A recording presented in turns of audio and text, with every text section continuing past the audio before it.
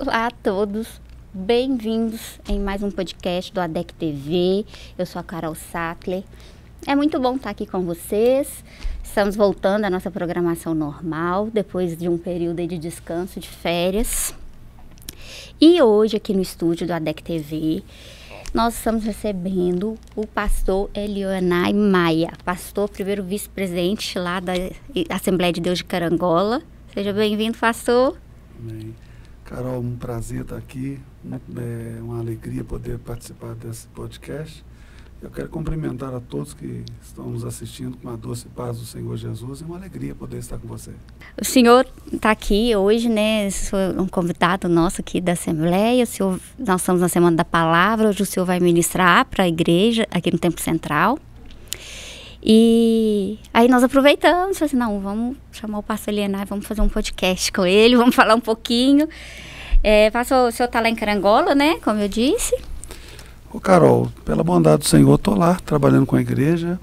É, você falou que eu era o vice-presidente, mas na verdade até julho eu estava como vice-presidente. Só que aí em julho eu assumi a presidência oh, da igreja. Desculpa. Pastor, porque eu não, peguei no seu tranquilo. perfil lá, ainda está, hein? É porque eu não mudei. Não mudou ainda. Não mudei. Eu acho que não caiu a ficha ainda não. Está meio pesado esse nome presidente, sabe? Mas aí até o pastor Eliseu esteve lá, me, é, participando lá da minha transição pastoral. E nós estamos ali batalhando lá com a Igreja Assembleia de Deus, a primeira Assembleia de Deus de Carangola lá. E já, né, que agora o senhor também, né, agora o senhor é o presidente e a, a nossa Assembleia esse ano é, usamos o tema, todo ano nós temos um tema para trabalhar, né? O uhum. ano passado foi o ano da perseverança. E esse ano é, é o ano do crescimento. E a gente tem alguns versículos para falar do crescimento mesmo da igreja, certo. em todos os aspectos. Certo. É... Então, assim, o que está por trás desse crescimento da igreja? É, a, porque a gente sabe, muitas pessoas falam assim, a igreja nos salva. É uma instituição que foi formada pelos homens. Não, a igreja, ela foi formada por Jesus.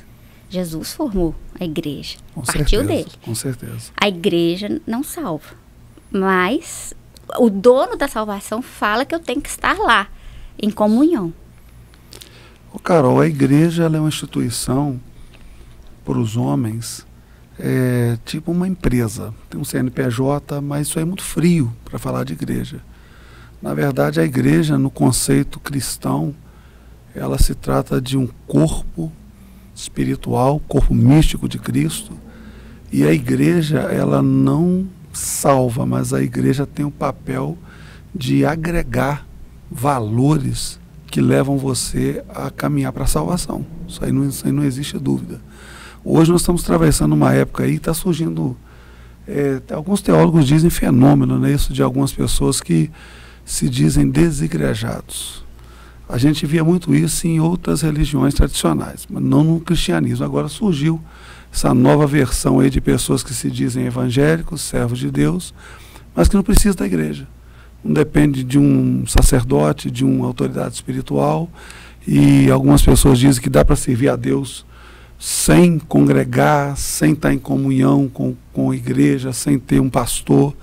Mas, biblicamente falando, isso não tem apoio nenhum na palavra. Uhum. A igreja, ela consegue de uma maneira muito maravilhosa aproximar você dos irmãos, você consegue ter uma comunhão muito mais é, profunda com, com o corpo de Cristo, que é a igreja. E eu me lembro até de uma palavra que eu nunca mais vou esquecer, hum. do pastor Elias Torralbo. Ah, eu assisti uma mensagem dele e aquilo ali me marcou demais. Ele diz que nós não somos a igreja, nós somos membros do corpo. E o membro ele só vive quando ele está em sintonia com o corpo, agregado ao corpo. Fora do corpo ele não sobrevive. Então eu não acredito. Ele vai atrofiar, numa, não, não tem como, não, tem, não, não recebe nada fora do corpo. Eu não acredito, forma nenhuma, em uma vida cristã saudável, espiritual, sadia, longe da igreja. Não tem como. Não existe uma igreja perfeita.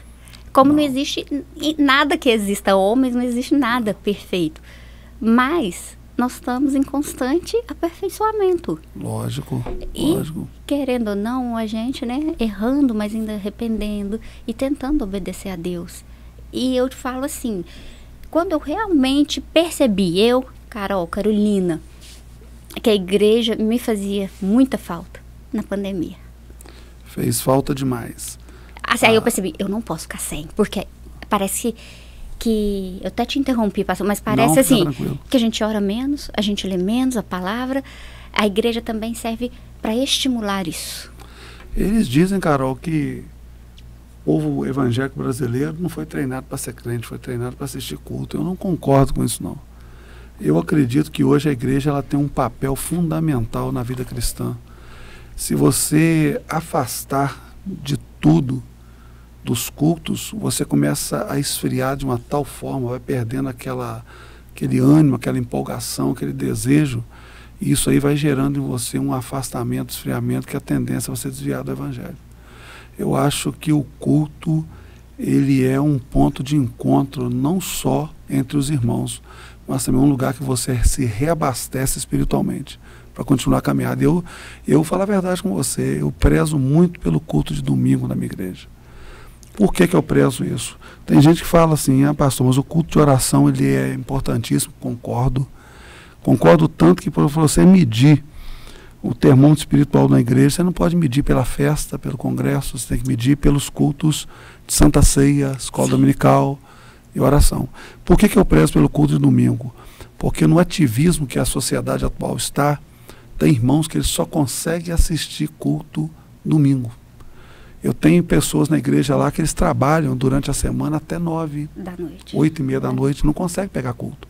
Então eu, eu, eu prezo muito, eu peço a Deus muito para que a mensagem do domingo ela possa abastecer essas pessoas, para eles ter força para caminhar aquela semana, sem cair em tentação, sem se ceder, para que aquilo possa fortalecer esse povo. Então eu acho que a igreja ela é sim um primordial, para a vida cristã, com certeza. E, e, quando a gente vamos voltar a falar, né, por que está atrás do crescimento da igreja, né, o que dá para assim, ó, o princípio por trás do, do, crescimento da igreja eu posso usar, né, o que Jesus disse em Mateus 16, 18.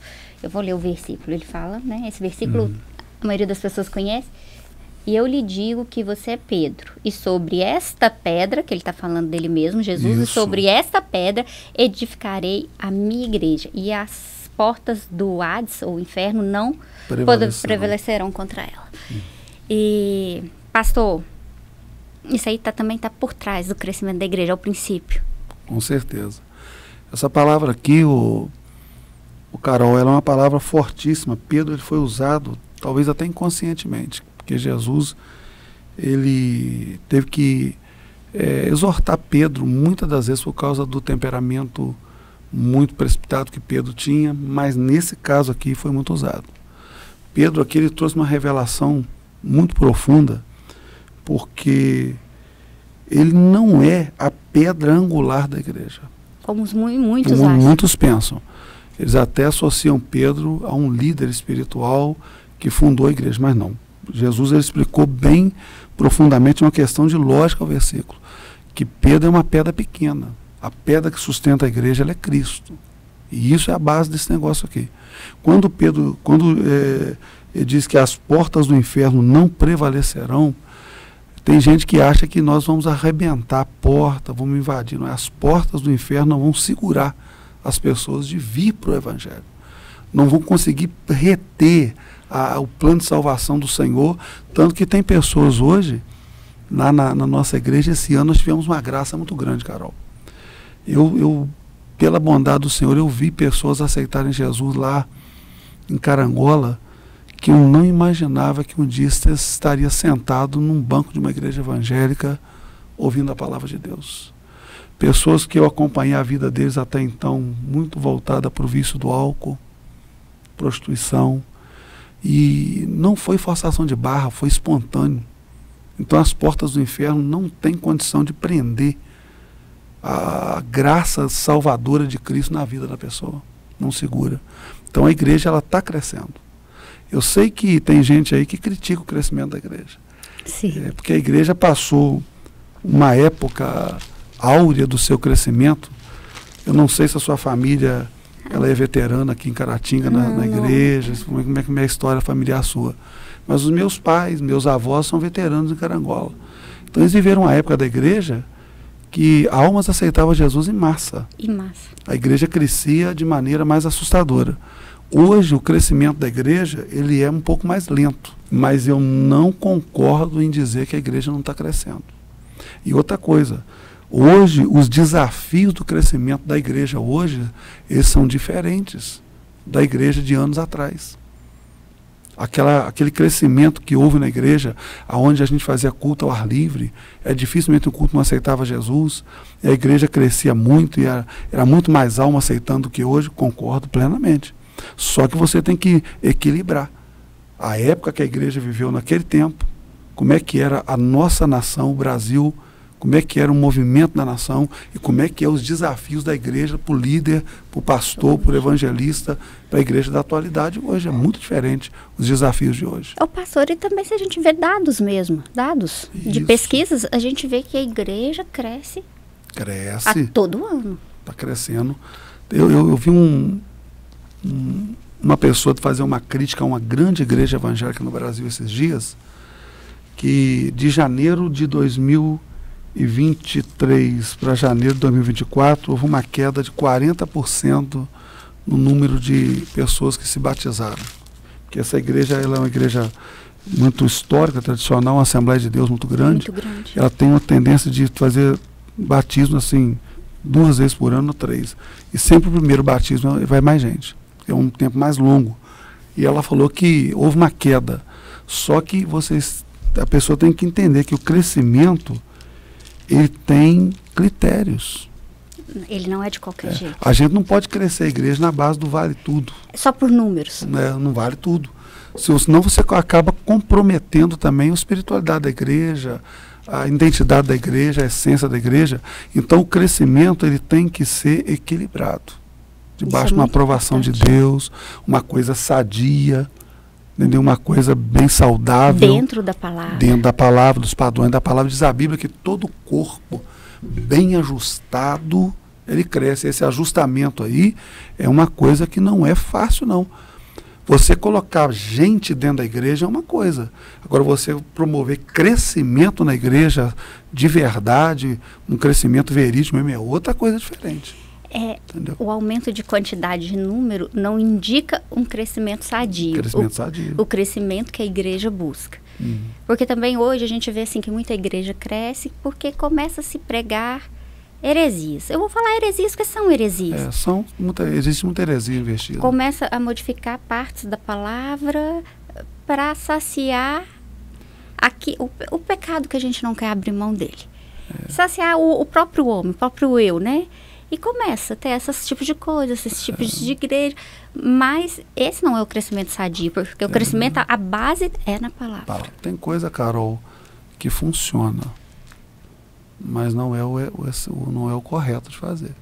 Eu não posso utilizar como meta de crescimento na igreja aquilo que eu acho que funciona. Eu tenho que usar aquilo que Deus colocou como princípio. Então, às vezes, às vezes dá ansiedade na gente. Não vou mentir para você, não eu fico assim ansioso porque eu não vejo o trabalho crescer da maneira que eu quero, no ritmo que eu espero. Só que não é no meu ritmo, nem na minha expectativa. É do jeito que Deus ele promove o crescimento. Então tem gente aí hoje que para ele o que vale é número. Quanto mais gente colocar dentro da igreja é melhor. Só que esse tipo de crescimento é um crescimento que ele pode a qualquer momento desmoronar tudo dá um problema Não é um crescimento grande. estruturado. Eu vejo igrejas hoje aí, eu não sei qual a palavra que eu posso usar para você, porque está sendo gravado, tá uma coisa mais complexa que eu tenho que medir um pouco. É, igrejas que estão tipo turismo. Aqueles. É, o grupo vem hoje, quando você pensa que vai ficar, aquele grupo sai, entra outro grupo que frequenta a igreja mais uns tempos, sai, mas não tem aquele grupo fixo. Virou uma rotatividade. É, e isso é a palavra que eu queria usar. Um grupo rotativo, não está aquela coisa firme ali, entendeu, Carol? E, e, e na verdade, o é, que, que, que, que é a base, né, assim, da igreja? A gente, nós temos os nossos anciãos. Com certeza. E eles são exemplos para nós. Tem coisas, né?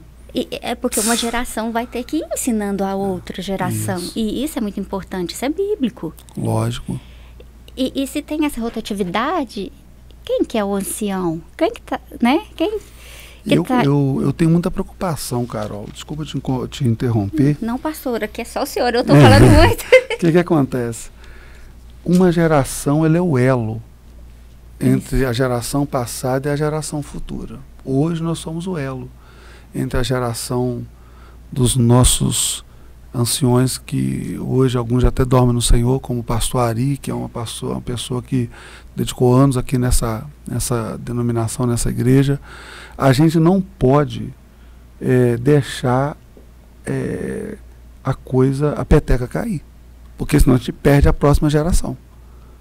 Um- Uma geração ela tem que entender que ela é o elo de ligamento entre a geração que está encerrando e a outra que está começando. Hoje você, na idade que você está, você é um elo entre a geração dos seus pais e a dos seus Dos filhos. filhos que estão chegando, os adolescentes da igreja, os jovens. Então a gente, se a gente perder esse ritmo, a gente perde a próxima geração. Aí fica Aí, complicado. Eles até faz assim uma, uma analogia, você coloca várias palitas de fósforo e você coloca fogo no primeiro. Com certeza vai atrair para o segundo, terceiro, mas se você tirar um fósforo aqui e baixar ele aqui, aí aqui morre aqui, não passa para de cá. Aí morre ali aquela, aquele elo ali, então a gente não pode perder esse elo. Aí a gente tem que dar continuidade. E hoje a gente está passando um pouco de dificuldade, porque a igreja está passando por transformações, mudanças. Isso aí gera um pouco de, de Conflito. conflitos de gerações dentro da igreja. Existem mudanças que hoje são necessárias, Sim. entendeu? Outras a gente não pode mexer, Outros não podem. não pode, não é. pode ser tocadas, entendeu? Então a gente tem que talvez saber lidar com isso aí. Eu acho que é, isso aí envolve a sabedoria, porque o que é de responsabilidade nossa para a próxima geração, Deus vai cobrar. Com certeza. Com certeza. Então a próxima geração tem a, a nós, né, essa, a geração mais antiga, tem que ter sabedoria para lidar com as mudanças Isso. e ensinar o que é princípio, o que é fundamental, aquilo que não se muda. E, e a geração mais jovem não pode perder o respeito. Com certeza, não pode perder aquela, aquela senso de, de, de- da realidade nossa. O que, que acontece, Carol? A gente hoje não pode parar no tempo. Se a igreja, tem igrejas hoje que estão fracassando porque pararam no tempo.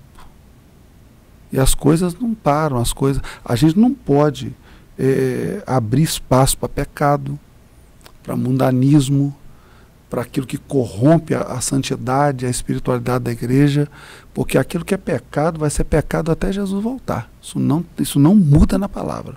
Agora, a gente, a igreja, ela tem que acompanhar as mudanças que acontecem na sociedade. Vamos falar, às vezes até tecnológicas, E né? isso tem que acompanhar essas mudanças. Se a gente parar no tempo, a gente começa a perder. É, perde. O crescimento da igreja começa a ser comprometido, não tem como. Entendeu? E sempre lembrar que né, a pedra fundamental é, Cristo. É Cristo. Vamos, Paulo, Paulo, 1 Coríntios 3,11. Ele fala, porque ninguém pode colocar outro alicerce além do que já está posto, que é Jesus Cristo. Aí ele está querendo dizer, é ele é a fundação, ele é a pedra angular e não existe outro alicerce. É, Eu entendo, Carol, da seguinte forma: tem coisas na igreja que você pode, você pode mudar, você pode mexer. posso mexer Na numa parte parede, estrutural, geral. Na parte estrutural, no conforto do templo, na tecnologia, você pode climatizar, pode colocar um som melhor. Hoje está muito utilizado o telão de LED. Uhum. Tem igrejas hoje que não vou nem entrar nesse mérito, pintam a parede preto. Isso aí é, um- é uma, uma- uma cultura de algumas igrejas. É, jogo de luz. Eu não vejo isso aí nem como pecado, nem colocar ninguém no inferno. Isso aí, isso aí, isso aí eu não intervenho nisso aí. Agora eu acho que a parte é, espiritual da igreja é que é complicada de mexer. Aí, aí complica. Porque aquilo que era oração no tempo de Jesus é oração até hoje. Jesus hoje ele não muda. Jesus ele não usa é, WhatsApp, ele não usa, pode até usar para situações específicas, mas para minha comunhão com o Senhor ainda é joelho no chão, leitura da palavra, consagração, é, uma, é o velho hábito do jejum, entendeu? De manter uma comunhão com o Senhor, com a igreja. Então essas coisas aí não mudam. A igreja pode mudar a estética do templo, mas a espiritualidade da igreja, infelizmente, não dá para mexer não. não. Dá. Oração, jejum e devocional. É, os padrões espirituais não podem ser removidos. Eu acho que isso aí é complicado. Até a mensagem mudou um pouco. Que hoje a mensagem, hoje é uma mensagem mais teológica, Sim. mas continua a mesma base bíblica. É porque as pessoas hoje, é, acho que elas têm mais oportunidade, é mais fácil o estudo, né?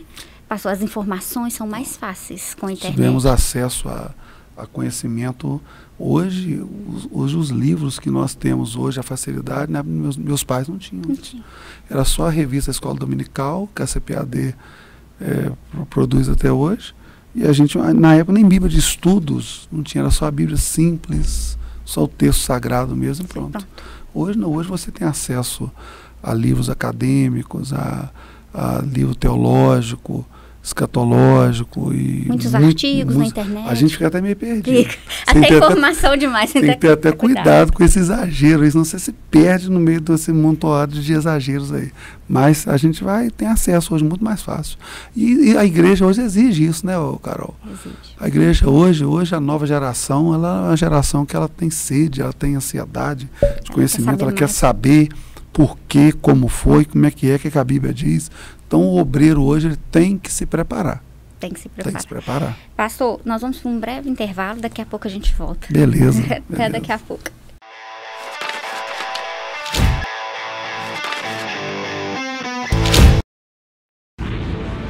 Seja bem-vindo ao novo site da Assembleia de Deus Caratinga. Agora ele está completo para você acompanhar bem de perto tudo sobre nossa igreja. Nele você encontra um pouco de nossa história, onde nós estamos, nossos horários de cultos e endereços de nossas filiais. E ainda você poderá fazer seu pedido de oração, sua contribuição, acompanhar nossas notícias, entrar em contato conosco e muito mais. Mais uma forma de você acompanhar tudo o que acontece na Assembleia de Deus Caratinga, de onde você estiver. Acesse agora assembleiadedeuscaratinga.org. Uma verdadeira história de fé, renúncia, desafios e conquistas. Você irá se emocionar e extrair lições extraordinárias da biografia de um dos mais expressivos líderes do movimento pentecostal no estado de Minas Gerais. Recomendada por influentes líderes cristãos. Adquira agora mesmo Ari Coelho, um legado de fé e descubra detalhes de uma história de vida que pode transformar a sua. Um produto com a qualidade CPAD.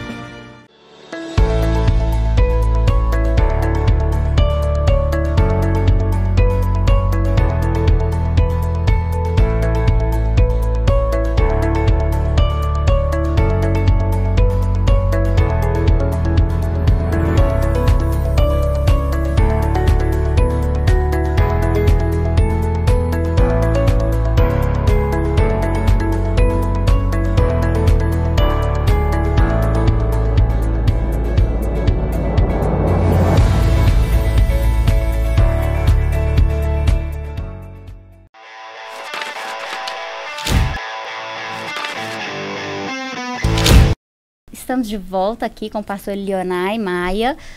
Pastor, no primeiro bloco nós falamos né, do crescimento da igreja. Muito bem, né? É, na verdade, todo tema dá para falar aqui 24 horas, sem, sem cessar. É, difícil esgotar. Esgotar. Mas agora, é, vamos falar também eu acho que esse tema envolve um pouquinho também essa parte do crescimento, quem da atualidade da, atualidade, né? desiste no meio do caminho, às vezes a pessoa, que é o sofrimento à luz da Bíblia, né? Bacana.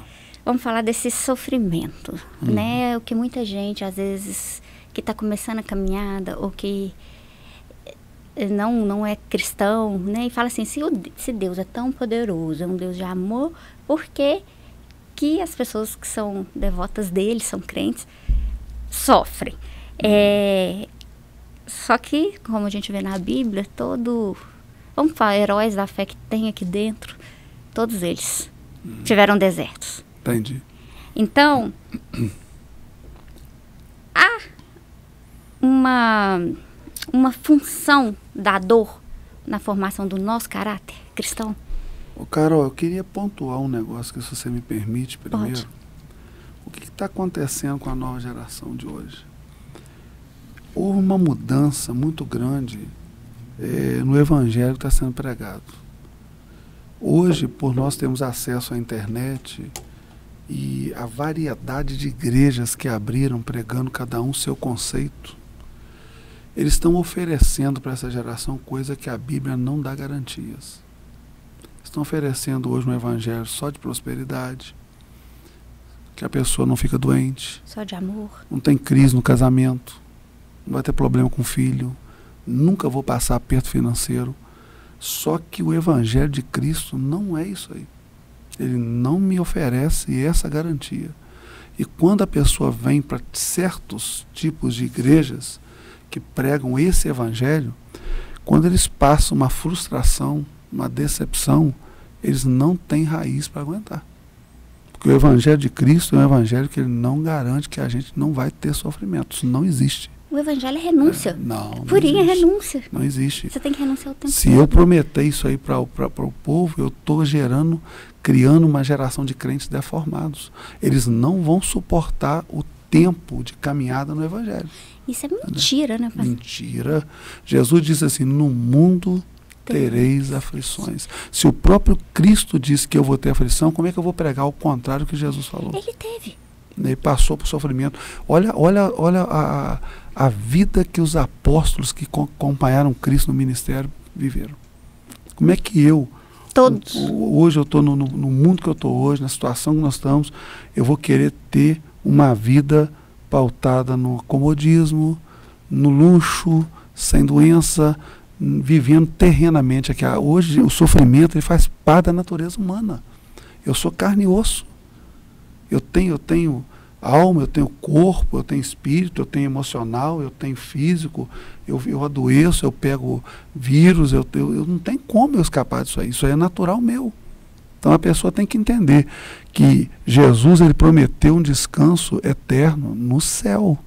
Ele não prometeu vida boa aqui na terra.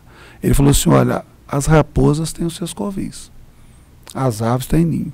O filho do homem não tem nem aonde reclinar a cabeça. Se você quiser, toma sua cruz. E me segue. E ofereceu uma cruz ainda. Toma sua cruz e me segue. Ele não ofereceu uma vida plena aqui nessa terra, não é? Não, Entendeu? não que você não vá ter momentos Não, tranquilos. com certeza. Com mas certeza. o sofrimento ela faz parte da vida do Faz. ser humano. A gente tem que entender. Se a gente. É a mesma coisa você. Você é mãe, né, Carol? Sou mãe. Tenho dois adolescentes. Você Dois proteger jovens. os seus filhos exageradamente. E proteger eles, cobrir de tudo. Amanhã eles vão achar que a vida é aquilo ali que você deu para eles, mas não é. Vão te assustar. Não é. Ah, Vai, vai, vai se deparar com coisas que eles vão estar preparados para enfrentar. Eu, eu, eu lembro de uma frase que diz que mares calmos geram marinheiros fracos. Mares tempestuosos geram marinheiros fortes. Deus ele não desperdiça sofrimento na vida de servo dele. Nem sofrimento é desperdiçado pelo Senhor. Porque eu acho que o sofrimento realmente ele trabalha no nosso caráter. Trabalha. Ele forja, Carol. Ele forja. Forja. Você, na hora, você, se, você fica meio eh, desesperado. Porque dependendo do grau do sofrimento, você começa a ter dificuldade de associar ele ao amor de Deus, ao livramento de Deus. Por quê? É. A gente começa a tentar encontrar respostas, explicações. Então você começa a ficar desesperado. Porque é muito difícil associar o amor que a Bíblia apresenta que Deus tem para nós quando ele deixa a gente passar certas situações. Entendeu? Só que tudo na vida de servo de Deus, eu, eu vou repetir, vocês podem até ser contrário à minha palavra aqui, mas é, é aquilo que eu entendo tudo na vida de um servo fiel de Deus tem propósito. Tem. E o sofrimento também tem. E na verdade, como que eu vou adquirir experiência se eu não passo por esses percalços? Eu tive uma dificuldade muito grande para entender o, a logística do livro de Jó. Aquilo ali não entrava na minha cabeça, não, entrava na minha cabeça por nada. que, que acontece? Eu não conheço eu, ninguém que sofreu mais que Jó. É porque eu, eu, eu via Jó lá tranquilo. De repente, Deus faz uma reunião, uma espécie de uma reunião, e o inimigo está lá no meio da reunião. O que, que acontece? O Senhor fala assim: de onde vens tu? Rodear a terra e passear por ela. Ele, ele começa a dizer o seguinte: Viste tu, meu servo Jó? Homem fiel, temente a Deus, desista do mal. O inimigo usou uma palavra para Deus o seguinte: também tu cercastes. Cercaste ele, né? É.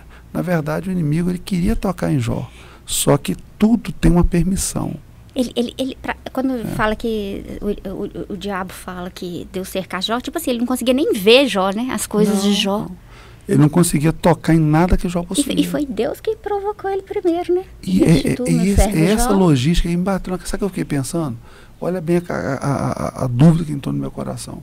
Fica o inimigo e Deus nesse jogo e Jó no meio. Perdendo ovelha, perdendo boi, perdendo jumenta, perdendo filho, perdendo saúde. E eu fiquei assim, meu Deus, mas não tem como. Para que, que Deus foi, foi entrar nesse negócio aí? Primeira coisa, Carol.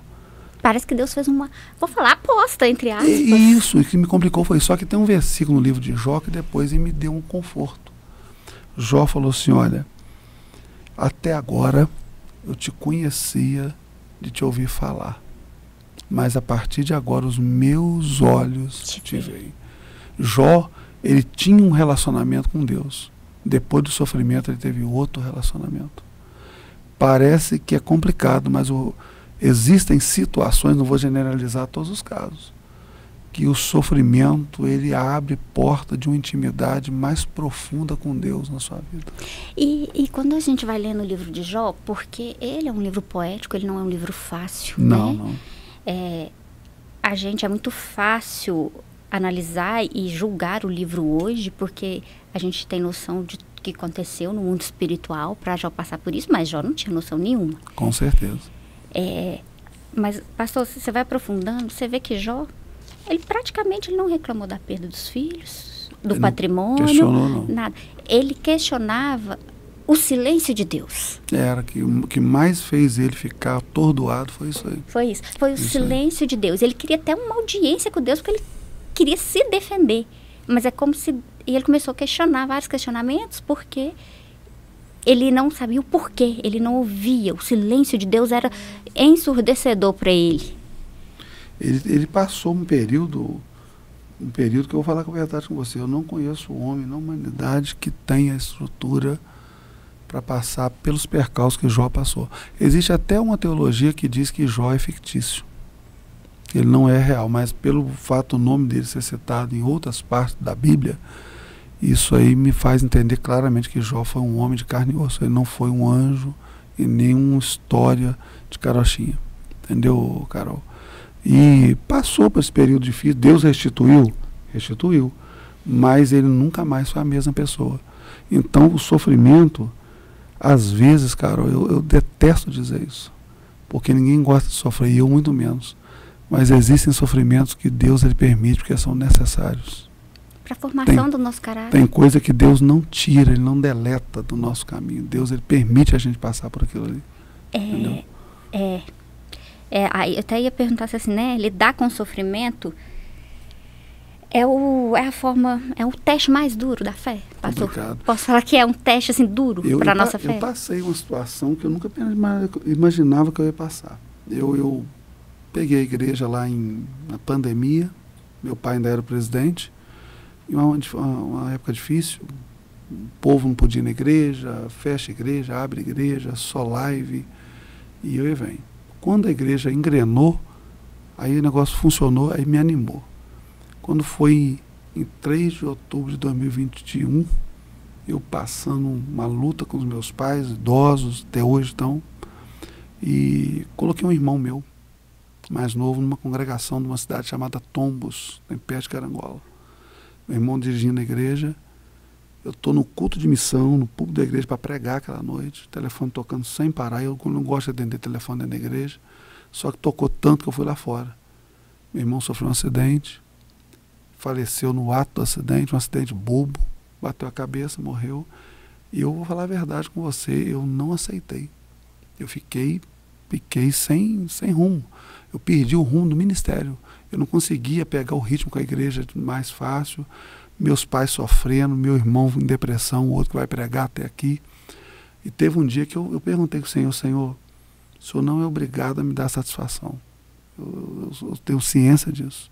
E outra coisa, se o Senhor falar comigo, eu sou crente, se o Senhor não falar, só não precisa preocupar, não, que eu vou continuar servindo ao Senhor. Porque eu, eu creio que o Senhor tem o melhor para mim. Mas fala alguma coisa para mim, qualquer coisa. Qualquer coisa. Porque na hora do sofrimento, Carol, não existe coisa melhor que ouvir Deus falar qualquer coisa com você. Quando você precisa ouvir é, desesperadamente a voz de Deus, Ele não te manda ninguém na sua casa, Ele não te dá um sonho. Se ouve a mensagem, parece que aquilo não entra, não encaixa naquilo que você está vivendo, entendeu? E Deus falou comigo. Falou claramente meu, um dia de noite comigo, falou assim, olha, levei seu irmão, que era a minha vontade, para você não perder ele duas vezes, estou deixando você perder ele uma só. Nunca mais eu questionei, não falei mais nada. 37 anos, partiu para a eternidade. Hoje meu coração está melhor, Deus confortou a minha alma, mas sofrimento não é fácil, não. E o homem, o homem, Carol, teoricamente, ele não aprende. O homem só muda na prática. E a escola de Deus, às vezes, é o sofrimento. Nem sempre, não, mas às vezes é. é eu, tô, eu, eu, tô lendo um livro, eu gosto muito desse autor, do Philip Yancey. E ele conta a história, quando ele vai falar um pouquinho do sofrimento, ele conta a história de um. Ele, ele faz uma analogia. Ele fala uma história verídica, um amigo deles, no final de uma tarde, no crepúsculo mesmo, foi nadar num uhum. lago, nos Estados Unidos, foi nadar no lago. E quando ele já tinha. Estava bem no meio do lago, um lago grande, veio uma névoa, um nevoeiro. E cobriu tudo, bem denso. E esse amigo olhava para a direita, olhava para a esquerda, nadava para um lado, perdeu a direção, não enxergava nada, não via nada, não ouvia nada. E não sabia para onde que ia. Nossa. E ele ficou uma meia hora ali. Sem rumo. Sem rumo, no meio daquele nevoeiro. Depois de meia hora, ele começou a ouvir uma voz de alguém chamando ele baixinho, baixinho. E através dessa voz ele conseguiu achar uma direção. Achar uma direção e sair. Aí ele compara isso com o sofrimento do cristão. Ele chama assim, sobreviventes do nevoeiro. É bem bacana a analogia dele. Às vezes você está lá. Faz sentido. Você está lá, você não consegue ver uma resposta, você não consegue achar uma direção, porque Deus não fala. E você precisa parar essa hora, você não pode desesperar. Você precisa é. parar vivenciar aquele período, aquele momento, ali. aquele momento. E se Deus estiver em silêncio, ele está em silêncio, mas ele não deixou de te ver. E na hora certa, você vai ouvir a voz dele te chamando e você vai conseguir sobreviver, sair daquele nevoeiro. E você já, você já tentou fugir do sofrimento? Tem jeito. A gente, a gente não deve fazer isso. Se você tentar fugir do sofrimento, você mata uh, uma fase, uma etapa, você queima uma etapa da sua vida que depois você não resolve ela. Não resolve. O sofrimento você tem que viver, é igual a pessoa falou, tem igual luto. Você tem que viver o seu luto. Vive o luto, chora se for preciso. Pode ser crente, crente chora também. Mas vive o luto, não depois você fica carregando aquilo por resto da sua vida. Você não consegue mudar a página, virar, atravessar aquele período. Entendeu? Eu acho que o sofrimento a gente tem que lidar com ele com muita direção de Deus, estrutura na palavra, senão você começa. Jó não, não descontrolou, não. Mas a gente não tem a mesma estrutura de Jó. Não. Entendeu? Mas eu creio que Deus ele é misericordioso, Carol, e ele consegue dosar o sofrimento. Ele passou por isso, né? ele sentiu na pele o que o ser humano o sente. É. Dosar o sofrimento. Pastor, hum. nós vamos encerrar por aqui. Deus abençoe poderosamente. Muito Amém. obrigado. É uma honra para a ADEC TV receber o senhor aqui. Amém. E pode despedir do pessoal de casa? Eu quero agradecer essa oportunidade, Carol. Foi muito bacana conversar com vocês esse momento aqui. Falar de coisas aqui que estava dentro do meu coração. Que Deus possa abençoar cada um que está nos acompanhando aí. Espero que de alguma forma Deus tenha nos usado para te abençoar Amém. sobre alguma coisa que falamos aqui, tá bom? Amém. Deus os abençoe e até a próxima edição.